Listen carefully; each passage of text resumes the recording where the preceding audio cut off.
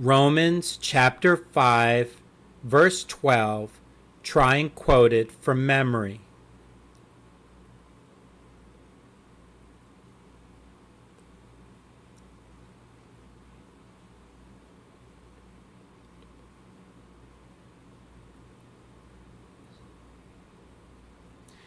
Romans chapter 5, verse 12.